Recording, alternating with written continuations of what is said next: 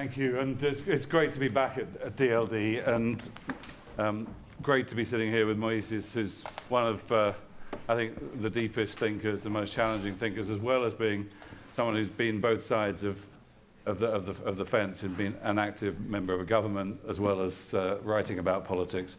And we have 20 minutes now to really tackle what I think is probably the most urgent question of our time. And I just wanted to start by saying you, I was reading an article that you've just written, and it has um, some statistics in it that really brought home what I think we sort of know, but when you see it starkly in data, you know, we really understand it. That if you wanted to find a thing that had changed dramatically in the world over the past 10 years, um, 10 years ago, two out of five people in the planet lived in a fully functioning democracy, and another one person lived in a partially functioning democracy.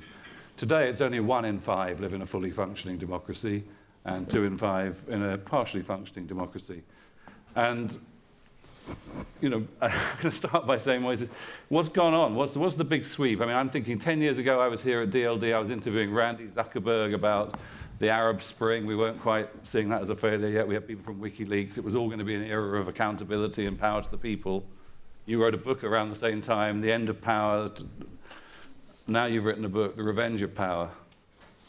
So thank you very much. Um, one of the things that uh, the, the, the, pandemic has shown us is that uh, ideas, concepts, institutions, business models that we thought were permanent turned out to be transitional and ideas that were transitional that we thought were, you know, just for, for a while, you know, remote work. It was going to be just until we dealt with the pandemic and then we all go back to our cubicles.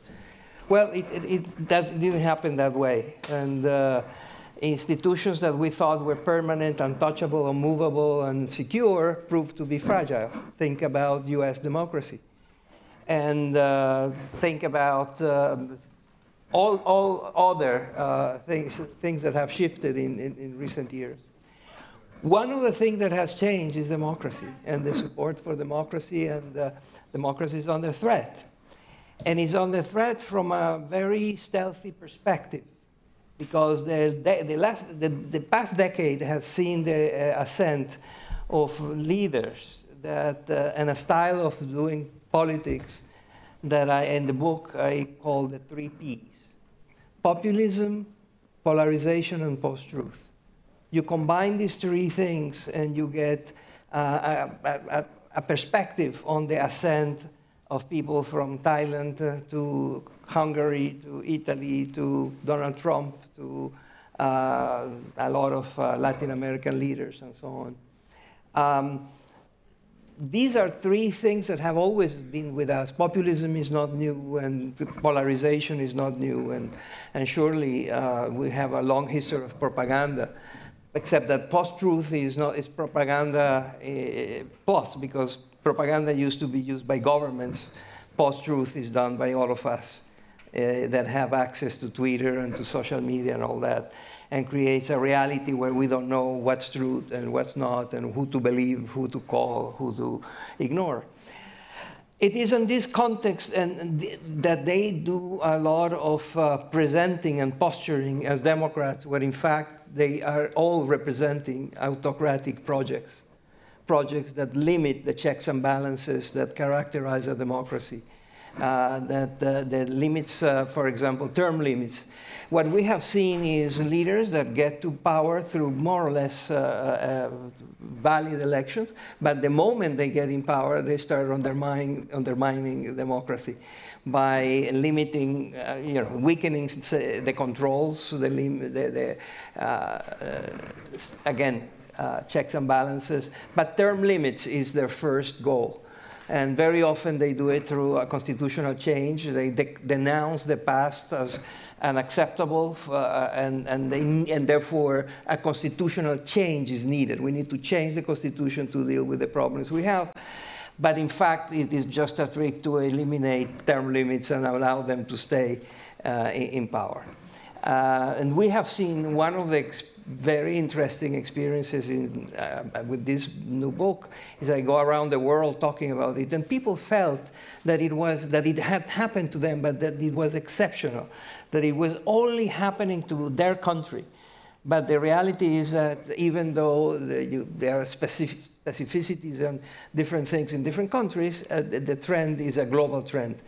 And so the democracy is under attack.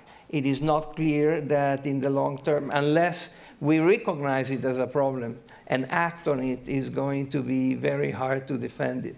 No problem has ever been solved uh, if it was not detected, identified, and, and specified before. That is what is happening now. Uh, the attack on democracy is not something you would, if I ask you what are the 10 things that happened in the last decade that changed the world, you will have the list that goes from the pandemic to the financial crisis to innovations in technology, social media. All, we have all of that. Very few people would include the demise of democracy as something uh, that is a threat uh, looming. And, uh, and so we need to make more clear. We have to, to work uh, to clarify that this is a threat that needs attention. Yeah, and your book has been getting great reviews. I was just reading a, a long New Yorker piece about it, and I mean, one of the points they make was that so many of these populists are actually creations of the media entertainment industry. They're literally clowns or entertainers, and from Trump, I guess, to Berlusconi. Berlusconi Trump, was uh, the model originally, uh, and, and yet there is this incredibly consistent, serious set of tools that they use to to to drive um, democracy uh, into, a, into a weaker and weaker position, put it into a corner. So uh, I guess the thing that hasn't always been with us, you know, we have the three Ps, is this sort of post-truth driven by technology, I guess. Uh, so how, how much of the blame do you, do you put on technology and the tech industry for this? You don't, you, you know, social media and the platforms are, are technologies are tools. Uh, you never blame the tool. Uh, all tools are, you know, two-edged. All, all innovations, all scientific progress uh, has, uh, you know, is a double-edged sword. You know, the internet is great, but it also has its downside, and so the same with social media. So rather than blaming the tools, uh, we need to identify who is owns the tools and what are they doing with it. Uh, and, and, and, there, of course, there is a lot of responsibility. You know, the whole infrastructure of our elections. You know, a democracy without elections is not a democracy. And uh, we now have a situation where uh, elections are contested everywhere. Uh, and, uh, and that, in theory, should be a problem that uh, should have been tackled and solved by the people in technology you, you know, should not be that difficult to make sure that elections are fair, verifiable, transparent, and, and, and, uh, and real. Uh, one of the things that happened with all these uh, uh 3P leaders, the leaders that use populism, popularization, and post-truth, is that they go out of their way to present themselves as Democrats. It's very important for them to have the, good, uh, the seal of good housekeeping of being a Democrat. And uh, for the world, they behave as Democrats. In practice, they are autocrats. So you ask yourself, why, why does you know, Saddam Hussein and Vladimir Putin and Hugo Chavez in my country, Venezuela, why did they have elections? Everybody knows that the elections are scammed, that they're going to win the elections with 97% of the vote. Uh, that, uh, you know, but why do they go into these institutional contortions and, and, and theater electoral theater. Why don't you, they do like the old-time dictators that said, you know, I'm the, boss here, and I have the guys with the guns ready to shoot in defense of my regime. Why? Well, and the, the, the explanation of this appetite for, uh, uh, for democracy is legitimacy. They need the legitimacy that elections, even scam elections, provide a little bit of, of, of legitimacy that they uh, desperate for. And partly, I think one lesson is we have to get away from thinking of democracy as about voting, and about so much more than that, I guess. Yeah, that's one of the first changes is convey and, and try to explain to people that, you know, just uh, talking about politics and then showing or not showing up in elections, it doesn't buy you a democracy. Democracy needs more work than that. So if we look into the, the next few years, I mean, and take the biggest democracy in the world, India, and we take the most influential democracy in the world, the United States, how are you currently seeing these trends play out there? I mean, do you, th do you think Trump's back in and America well, look, ceases to uh, be a fully functioning yeah. democracy? Does India really go off the rails under Modi? Both are, are, using the three Ps. Both are both Trump and Modi are three P leaders, and there are plenty of examples. And we don't have the time, but I can go on for uh, hours on the list of the ways in which they behave that are representative of that.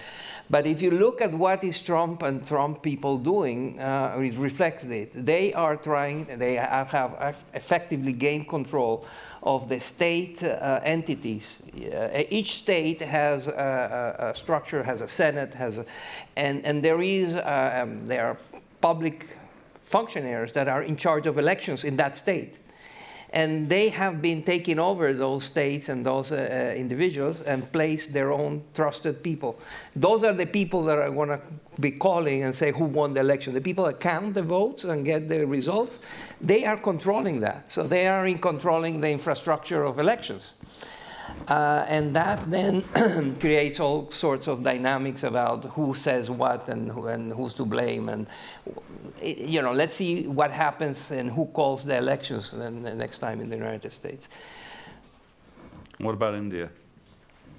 In India, you have seen uh, the, pol polari the polarization in India is very profound because it has very strong racial undertones and, uh, and um, there are regional differences. So people develop identities, uh, smaller, more tribal-like identities are more important than ideological postures. And that is every, we've seen that everywhere in India is very pronounced in terms of how Modi is using race and religion uh, to, to divide. And polarization is, is like it's like cholesterol. You have good cholesterol and bad cholesterol. So you have uh, good polarization, which is essentially democracy, and you have bad uh, uh, polarization, which is uh, the kind of device, divisiveness situation in the nation, which people cannot tolerate that the other cannot coexist with the other, and then that they, that in the, we see it in the United States. You know, it's paralyzing. It's very hard to make decisions. It's very hard to find convergence, agreement on very fundamental things are elusive because of this hatred, hatred between people that simply or, com in, complex ways have different views about uh, political life. And it's interesting as I look at America, you see some of the titans of Silicon Valley coming in. I mean, you have Peter Thiel on the sort of libertarian right funding a lot of, of action, uh, both in Washington and around the country. You see Reid Hoffman. So it's two, two key members of the PayPal mafia really, really funding a lot of protecting democracy activity.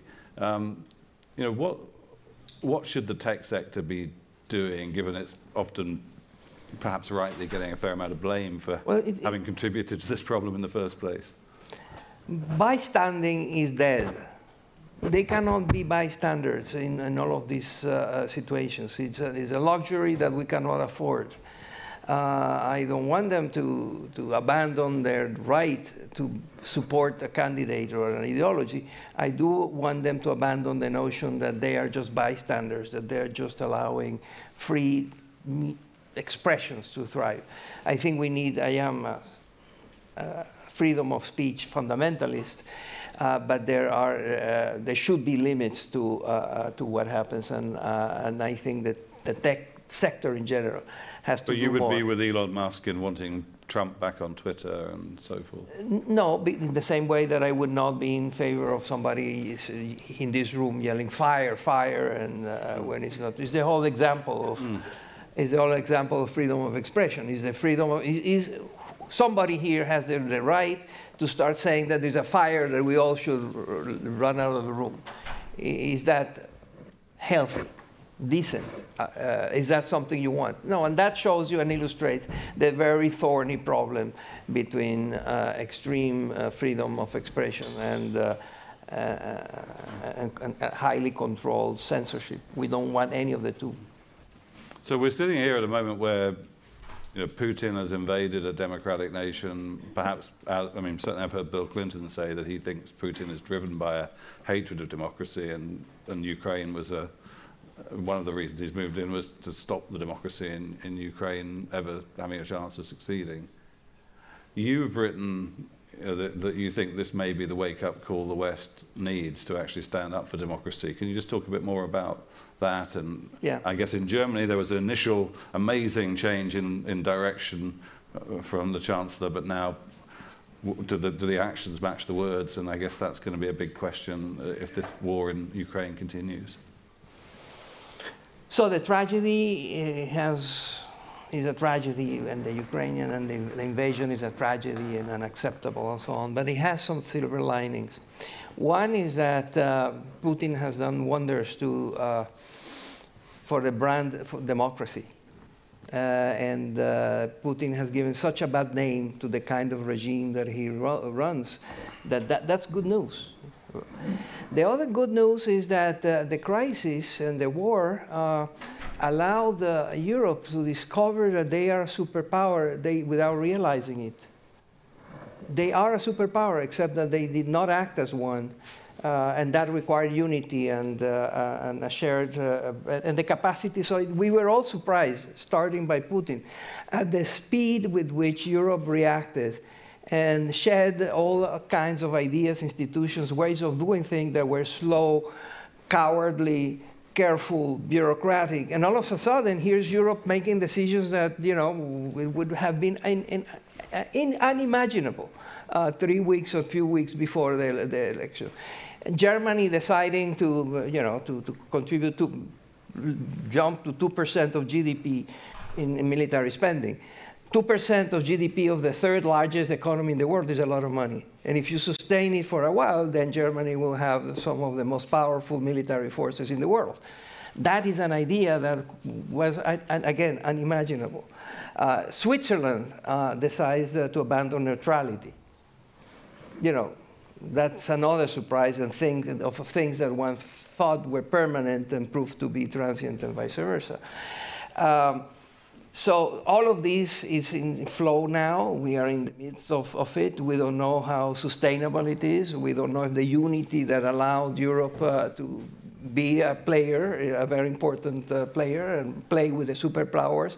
We don't know if that's going to hold. Uh, we don't know if there's going to be division, as you said, in Germany that started with a very enthusiastic anti-Putin reaction. Uh, now uh, uh, is, you know, they're thinking again but uh, they have already moved in directions that were uh, forbidden in the past. So we're almost out of time, and I, I, I want to recommend again that people buy your book and read it because I think it's really powerful. But in this room, lots of people doing interesting, world-changing work in their tech activities and their other activities, hopefully all committed to democracy because we still think that's the best system. Um, what should we, what can we do now to fight back against these trends that are out there? Recover, recover the per, your peripheral vision.